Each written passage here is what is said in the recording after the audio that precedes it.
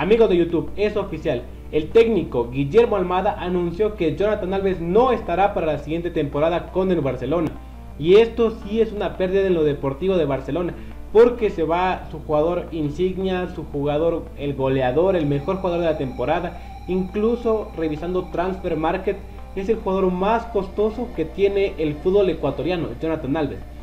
Sin embargo, hay un punto interesante por el que lo venden y es que su disciplina, su factor humano, no el de los mejores. Y lastimosamente esto ya lo tuvo que vivir Barcelona a las malas en la Copa Libertadores anterior, donde por una falta disciplinaria se hizo sacar doble tarjeta amarilla y lo expulsaron.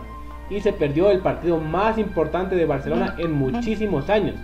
Con lo cual los directivos tomaron una decisión, este jugador no continuará en Barcelona porque seguramente si hubieran querido lo hubieran retenido a Jonathan Alves.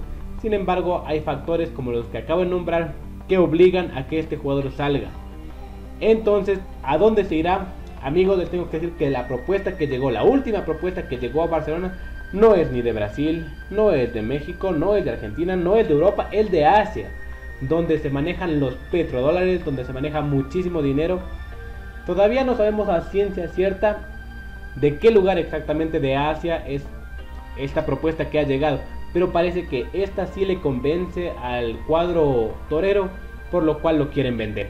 Así que simplemente toca esperar a ver qué pasa con Jonathan Alves, cuál es el equipo que finalmente lo compró, pero todos sabemos que ya no está en Barcelona.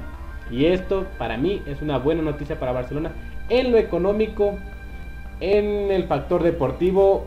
Eh, no sé si es mucho que se gana o se liberan de un problema, pero hay que ver, todo depende de qué tan bien le vaya a Juan Ignacio Dinero y a Ariel Huepán. Depende de ellos dos para olvidar más fácil o no a Jonathan Alves.